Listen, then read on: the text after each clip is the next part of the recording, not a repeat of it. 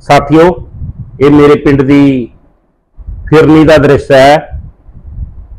ਇਸ ਵਿੱਚ ਵੀ ਕੋਈ ਅਜੀਬ ਗੱਲ ਨਹੀਂ ਕਿ ਜੋ ਇਸ ਤੇ ਪਾਣੀ ਖੜਾ ਹੈ, ਇਸ ਤਰ੍ਹਾਂ ਬਰਸਾਤਾਂ ਦੀ ਰੁੱਤ ਦੇ ਵਿੱਚ ਹੋਰਨਾਂ ਵੀ ਬਹੁਤ ਸਾਰੇ ਪਿੰਡਾਂ ਦੀਆਂ ਫਿਰਨੀਆਂ ਤੇ ਪਿੰਡ ਦੀ ਆਸ-ਪਾਸ ਦੀਆਂ ਜੋ ਸੜਕਾਂ ਨੇ, ਉਹਨਾਂ ਤੇ ਪਾਣੀ ਖੜਾ ਹੁੰਦਾ ਹੈ। ਪਰੰਤੂ ਇੱਥੇ ਪਾਣੀ ਖੜਨ ਦਾ ਜੋ ਇੱਕ ਕਾਰਨ ਹੈ, ਉਹ ਗੈਰ ਯੋਜਨਾਬੰਦੀ ਹੈ। ਇਹ ਜੋ ਸੜਕ ਇਹਦੇ ਇਸ ਤਸਵੀਰ ਦੇ ਵਿੱਚ ਸਪਸ਼ਟ ਵਿਖਾਈ ਦੇ ਰਹੀ ਹੈ, ਉਹ ਨਾਲੇ ਨਾਲੋਂ ਨੀਵੀਂ ਹੈ।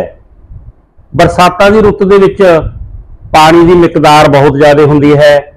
ਉਸਨੇ ਤਾਂ ਜਿੱਧਰ ਨੂੰ ਉਹਨੂੰ ਥਾਂ ਮਿਲਦਾ ਹੈ ਉਸ ਨੂੰ ਬਹਿ ਹੀ ਤੁਰਨਾ ਹੁੰਦਾ ਹੈ ਤੇ ਆਪਣੇ ਆਪ ਰਾਸਤਾ ਬਣਾ ਕੇ ਉਸਨੇ ਲੰਘ ਜਾਣਾ ਹੁੰਦਾ ਹੈ। ਪਰੰਤੂ ਇਹ ਜੋ ਸੜਕ ਹੈ, ਨਾਲੇ ਨਾਲੋਂ ਨੀਵੀਂ ਹੈ।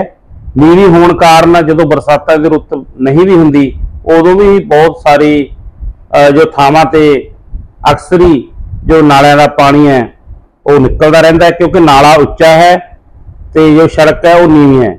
ਨਾਲਾ ਬਣਾਉਣ ਦੇ ਸਮੇਂ ਕਿੰਨੀ ਗੈਰ ਯੋਜਨਾਬੰਦੀ ਅਖਤਿਆਰ ਕੀਤੀ ਗਈ ਹੈ ਕਿ ਇਹ ਨਾਲਾ ਜੋ ਤਿੰਨ ਵਾਰ ਬਣ ਚੁੱਕਾ ਹੈ ਤੇ ਇਸ ਦਾ ਜੋ ਸਾਈਜ਼ ਹੈ, ਉਸ ਨੂੰ ਨਹੀਂ ਵਧਾਇਆ ਗਿਆ। ਸਗੋਂ ਇਸ ਤੇ ਜੋ ਲਿਪਾ ਪੋਚੀ ਹੀ ਹਮੇਸ਼ਾ ਹੁੰਦੀ ਰਹੀ ਹੈ।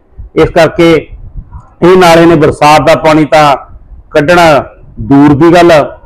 ਲਗਭਗ 2 ਤੋਂ 250 ਜੋ ਘਰਾਂ ਦਾ ਪਾਣੀ ਇਹਦੇ ਵਿੱਚ ਗੰਦਾ ਜੋ ਘਰਾਂ ਦੀ ਨਿਕਾਸੀ ਹੁੰਦੀ ਹੈ ਉਹਨੇ ਆਉਣਾ ਹੁੰਦਾ ਹੈ। ਉਹ ਵੀ ਸਹੀ ਤਰੀਕੇ ਨਾਲ ਇਸ ਦੇ ਵਿੱਚੋਂ ਦੀ ਨਹੀਂ ਲੰਘ ਰਿਹਾ। ਤਾਂ ਇੱਕ ਉਦਾਹਰਨ ਹੈ ਕਿ ਜੋ ਪਿੰਡਾਂ ਦੇ ਵਿੱਚ ਗੰਦੇ ਪਾਣੀ ਦੀ ਨਿਕਾਸੀ ਦੀਆਂ ਸਮੱਸਿਆਵਾਂ ਨਾ, ਉਹ ਪੈਦਾ ਹੋਣ ਦਾ ਕਾਰਨ ਸਹੀ ਤਰੀਕੇ ਦੇ ਨਾਲ ਜੋ ਯੋਜਨਾਬੰਦੀ ਨਾ ਬਣਾਉਣ। ਤੇ ਇਹ ਨਾ ਵੇਖਣ ਦੇ ਦੇ ਕਰਕੇ ਹੈ ਕਿ ਇਸ ਦੇ ਨਾਲ ਜੋ ਪਾਣੀ ਦੀ ਸਮੱਸਿਆ, ਨਿਕਾਸੀ ਦੀ ਸਮੱਸਿਆ ਹੈਗੀ, ਉਹ ਹੱਲ ਹੋ ਜਾਵੇਗੀ। ਸਗੋਂ ਇੱਕ ਖਾਨਾ ਪੂਰਤੀ ਦੇ ਰੂਪ ਦੇ ਵਿੱਚ ਜੋ ਕੰਮ ਕੀਤੇ ਜਾਂਦੇ ਨਾ।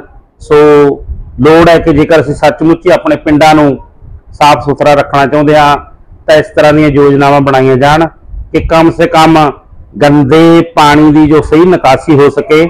ਨਾਲ ਦੀ ਨਾਲ ਜਦੋਂ ਬਰਸਾਤਾਂ ਪੈ ਹਟਦੀਆਂ ਨਾ, ਤਾਂ ਜੋ ਸੜਕਾਂ ਵਗੈਰਾ ਤੇ ਨਿਕਲਿਆ ਪਾਣੀ ਹੈ, ਉਹ ਵਾਪਸ ਇਹਨਾਂ ਨਾਲਿਆਂ ਦੇ ਵਿੱਚ ਪੈ ਕੇ ਜੋ ਜਿੱਥੇ ਸਰੋਤ ਦੇ ਵਿੱਚ ਇਸ ਪਾਣੀ ਨੇ ਜਾਣਾ ਹੁੰਦਾ ਹੈ, ਉਸ ਵੱਲ ਨੂੰ ਚਲਾ ਜਾਵੇ।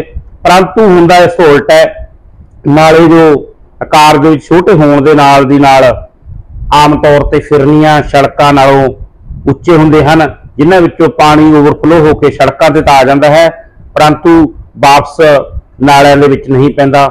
ਸੋ ਅਜਿਹੇ ਕੰਮ ਕਰਦੇ ਸਮੇਂ ਜੋ ਸੰਬੰਧਿਤ ਲੋਕ ਹੁੰਦੇ ਹਨ, ਸੰਬੰਧਿਤ ਅਧਿਕਾਰੀ, ਕਰਮਚਾਰੀ ਹੁੰਦੇ ਹਨ, ਉਹਨਾਂ ਨੂੰ ਪੂਰਨ ਇਮਾਨਦਾਰੀ ਨਾਲ ਤੇ ਇਸ ਨੂੰ ਖਾਨਾ ਪੂਰਤੀ ਨਾ ਮੰਨਦਿਆਂ ਇੱਕ ਨੇਕ ਕਾਰਜ ਦੇ ਰੂਪ ਦੇ ਵਿੱਚ ਨਿਭਾਉਣ ਦੀ ਜ਼ਰੂਰਤ ਹੈ, ਉਹਨਾਂ ਦੁਆਰਾ ਕੀਤੇ ਜਾਣ ਦੀ ਲੋੜ ਹੈ ਤੇ ਨਾਲ ਦੀ ਨਾਲ ਜੋ ਲੋਕ ਹਨ, ਉਹਨਾਂ ਨੂੰ ਵੀ ਸੁਚੇਤ ਹੋ ਕੇ, ਉਹਨਾਂ ਨੂੰ ਵੀ ਜਾਗਰੂਕਤ ਹੋ ਕੇ ਜੋ ਇਹ ਕੰਮ ਕਰਵਾਉਣ, ਤਾਂ ਜੋ ਉਹਨਾਂ ਨੂੰ ਹੀ ਇਹ ਬਾਅਦ ਦੇ ਵਿੱਚ ਸਥਾਨਕ ਲੋਕਾਂ ਨੂੰ ਹੀ ਇਹਦੇ ਜੋ ਗੰਭੀਰ ਨਤੀਜੇ ਨੇ, ਉਹਨਾਂ ਨੂੰ ਭੁਗਤਣਾ ਪੈਂਦਾ ਹੈ।